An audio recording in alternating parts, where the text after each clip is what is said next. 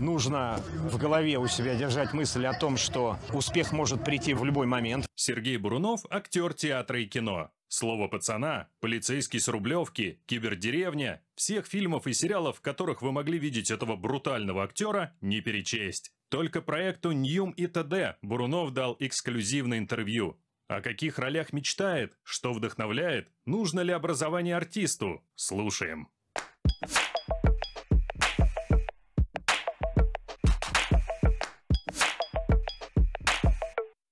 Как вообще учились в школе? Были прилежным учеником или, может, иногда хулиганили?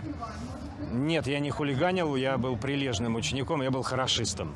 Так сказать, можно же так сказать. Хорошистом, да. 4-3, иногда 5. А есть ли роль, которую вы мечтаете сыграть? Нет, не, не мечтаю. Роли же они приходят. Вот, то есть, как сказать, она вот при, придет и как в любви. Либо что-то зажгло здесь внутри, э, что я захочу об этом сказать и захочу это сыграть, и все. А так, чтобы я о чем-то мечтал, ну, это будет лукавство.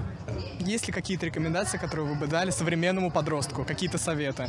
Э, Современному подростку ну, не такой вопрос э, странноватый. Ну, в, в- каком контексте, что А, порекомендовать? в контексте, допустим, в контексте, который стремится быть похожим на вас, который хотел бы тоже стать актером, но не знает вообще, как поступать, как вообще э, развиваться. Вот. Похожим на меня э, зачем? Э, У каждого свой путь. Да, нужно знать, что у тебя свой путь. Нужно в голове у себя держать мысль о том, что а, успех может прийти в любой момент, в любую секунду, в любую минуту, и к нему надо быть готовым.